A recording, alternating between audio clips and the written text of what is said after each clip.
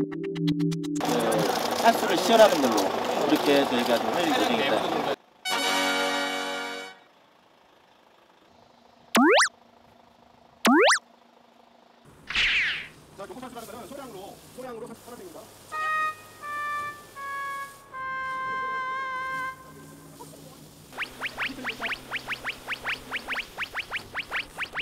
아니 쏘고 아니 물도 안 채우고 기자들 불러서 시연한다고 하신 거예요?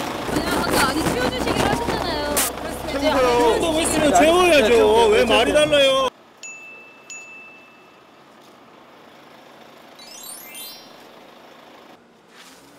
힘을 내요 슈퍼파워 자, 이걸로 이제 시연을 마치도록 하겠습니다. 감사합니다.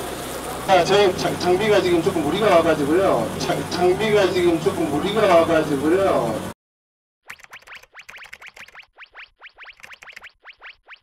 저희 거는 제가 아는데 이게 약간 진짜 그 차종이 다릅니다. 진짜 그런. 예.